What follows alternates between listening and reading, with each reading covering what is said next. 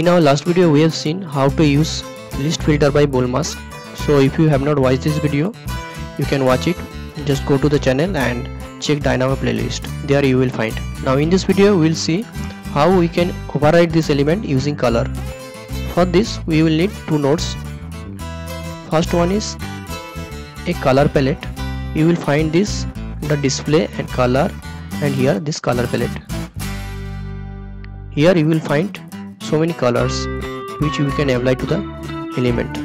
You will need also another node that is uh, you will find under revit uh, elements and here in element override color in view this node. So these two nodes are sufficient to override color in view. For this example i am coloring out these three elements. These are available in in list here. So just connect into element and here we are providing the color. So I'm just providing uh, this green color. Just I'm not running it. I'm just showing you how it's looking now. So just go to Revit here. See? It is just like bluish and white.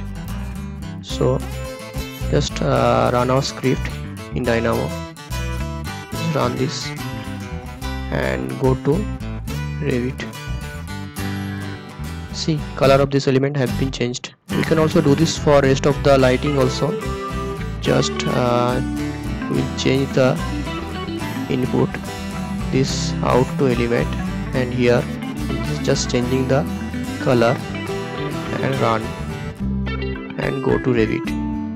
See color of remaining elements also have been changed. So this is how you can override colors using dynamo. So if this video is helpful to you please like this video share this video and subscribe to our channel. Thank you